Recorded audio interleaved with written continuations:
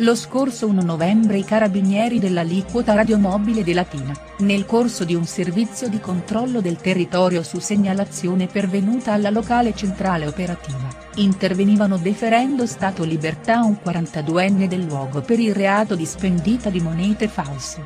L'uomo, poco prima, all'interno di una pizzeria effettuava il pagamento con una banconota falsa da 50 euro.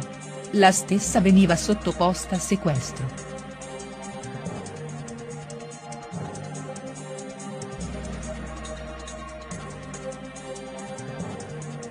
Avranno tempo una settimana i responsabili dell'Istituto Bambin Gesù per mettere in sicurezza il tetto dell'immobile sito in via Corradini di proprietà dello stesso istituto e del conservatorio, dal quale nella giornata di lunedì scorso si erano staccate diverse tegole, tanto da costringere il sindaco a predisporre l'ordinanza di interdizione a mezzi e a persone nella stessa area dove la furia del vento aveva gravemente danneggiato la cattedrale di Santa Maria.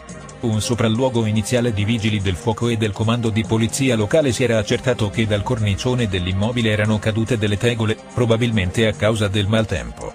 Ma un ulteriore sopralluogo ha fatto capire che i problemi probabilmente c'erano già in precedenza e sono stati soltanto amplificati dalla situazione di instabilità meteorologica. Grazie all'ausilio di un'autoscala, infatti, la ditta incaricata dal comune di Sezze ha eliminato la situazione di pericolo, ma contemporaneamente ha evidenziato il grave stato del tetto che presenta aperture interne, tegole sconnesse e cornicioni pericolanti.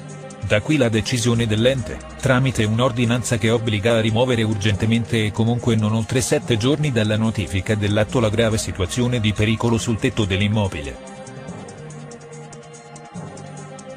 Si terrà oggi alle 17.30 presso la libreria Feltrinelli di Latina in via Diaz la presentazione del saggio Un'altra Europa è possibile, scritto da Maurizio Cotta per le edizioni Il Mulino. Una riflessione a tutto tondo sul senso dell'Europa a partire dal libro del politologo dell'Università di Siena, una possibile ricetta per salvare l'Unione, i suoi valori, i suoi principi.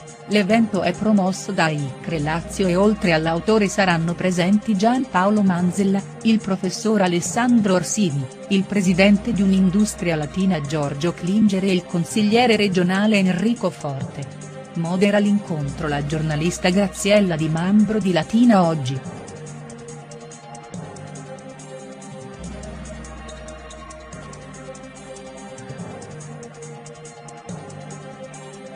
È stato presentato il capitolato per la progettazione e l'installazione dell'area gioco e socialità del Parco Nazionale del Circeo.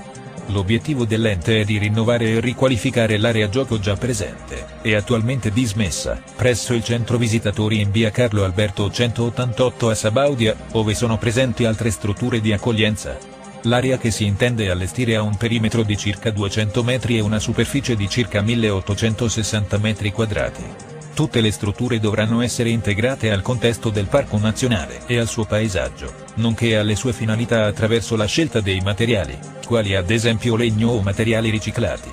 L'area gioco e socialità dovrà essere inclusiva e di facile accesso alle diverse abilità, eliminando le barriere all'accessibilità e le limitazioni all'uso delle strutture gioco, uno spazio dove i bambini, gli anziani, e persone con disabilità fisiche o sensoriali o con problemi di movimento possono accedere giocare e divertirsi in sicurezza, insieme a tutti gli altri. Le attrezzature, quindi, devono poter essere utilizzate da una vasta gamma di utenti aventi diverse abilità e prevedere attrezzature anche per utenti su sedie a rotelle. L'area dovrà inoltre avere una zona terza età, fornita di attrezzi e supporti appositamente studiati per l'attività fisica degli anziani che desiderano mantenersi in forma con semplici esercizi. Conclusa la settima edizione del Premio Comeo, ci si appresta a inaugurare un nuovo importante evento allo Spazio di Arte Contemporanea, una retrospettiva dedicata a Claudio Cintoli, artista scomparso prematuramente, a poco più di 40 anni, nel 1978, che ha lasciato un segno profondo nel mondo dell'arte e nella memoria di artisti e giovani di Latina. L'esposizione accompagna l'uscita editoriale del libro catalogo dello storico dell'arte e critico romano Simone Battiato in cui l'autore ripercorre, grazie ad un'attenta ricerca documentaria, gli otto anni trascorsi dall'artista Claudio Cintoli in veste di docente di figura disegnata presso il Liceo Artistico di Latina, istituzione nata nel 1968. La mostra evento avviene non a caso nell'anno 2018 in cui ricorrono i 50 anni dalla sua nascita e i 40 anni dalla morte dell'artista. La mostra espone opere realizzate da Cintoli in questo arco cronologico, alcune facenti parte della serie dei pesi morti e di Nido e altri voli e altre mai esposte in precedenza.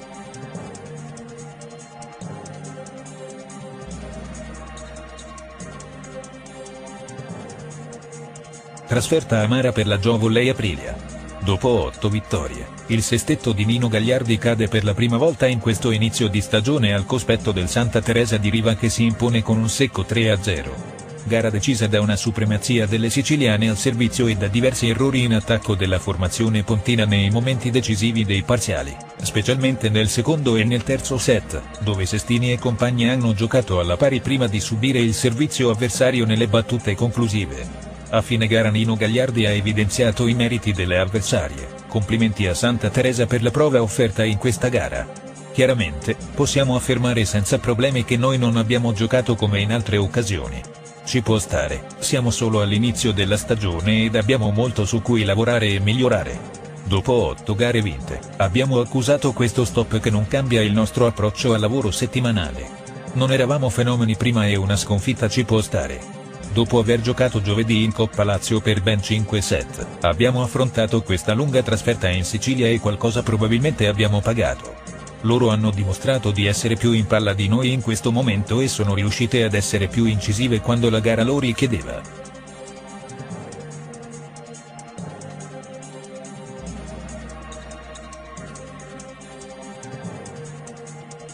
Nel corso dell'ultima riunione del Consiglio provinciale l'Assise ha approvato all'unanimità i punti all'ordine del giorno, tra i quali la sottoscrizione del manifesto di intenti riguardante il contratto di fiume e di paesaggio per il bacino idrografico del fiume Amaseno, la sottoscrizione del manifesto di intenti riguardante il contratto di fiume e di paesaggio per il bacino idrografico del fiume Ofente il manifesto di intenti riguardante il contratto di Fiume Ufente e di Fiume Amaseno è frutto di un processo di concertazione sviluppatosi tra la provincia di Latina, la tredicesima comunità montana, il comune di Pontini, il comune di Sezze, associazioni, privati cittadini e altri attori locali, tenutosi all'inizio dello scorso mese di giugno. I contratti di fiume costituiscono uno strumento di programmazione strategica integrata per la pianificazione e gestione dei territori fluviali, in grado di promuovere la riqualificazione ambientale e paesaggistica attraverso azioni di prevenzione, mitigazione e monitoraggio delle emergenze idrogeologiche, di inquinamento e paesaggistico, naturalistiche, Inoltre la necessità di utilizzare strumenti come i contratti di fiume è amplificata in questi territori da una elevata fragilità idrogeologica. Nella notte del 3 novembre i militari della stazione Carabinieri di Pontigna, nel corso di un servizio di controllo del territorio, intercettavano un escavatore intestato ad una società di costruzioni. I malfattori, alla vista dei militari operanti, abbandonavano il mezzo per darsi alla fuga nelle campagne circostanti. Il mezzo, asportato poco prima dall'un cantiere edile di Pontinia, veniva recuperato dai vigili del fuoco di Latina e restituito all'avente diretto. Si avvicina uno degli eventi benefici più importanti d'Italia per quanto riguarda il settore motociclistico, il SIC Supermoto Day, che si terrà dall'1 al 2 dicembre prossimo a Latina, circuito internazionale Il Sagittario con l'organizzazione del Motoclub Augusto Mancini e il coordinatore Federico Capogna, ideatori di questo evento benefico. Il 2018 motociclistico volge al termine e può essere considerato certamente sul piano sportivo un anno in cui non sono mancate le emozioni grazie anche all'operato di piloti e team italiani. Per il settimo anno di fila saranno protagonisti i motori per celebrare il mito del motociclismo italiano Marco Simoncelli, scomparso il 23 ottobre del 2011, a soli 24 anni, in un terribile incidente nel corso del Gran Premio della Malesia, sul circuito di Sepang. Ovviamente non è ancora tutto pronto, ma il programma sommariamente esposto dall'organizzatore Federico Capogna è interessante con il sabato riservato alle prove libere, mentre la domenica si correrà l'attesissima gara di Endurance Supermoto 58 giri che assegnerà il Six Supermoto dei 2018. Ampio spazio anche alle piccole motovale, nate per offrire un'alternativa al mondo sportivo in grado di trasferire emozioni e sensazioni vere, le stesse che provano i piloti professionisti, e si guidano con facilità. A giorni verrà comunicata l'apertura delle iscrizioni e della prevendita.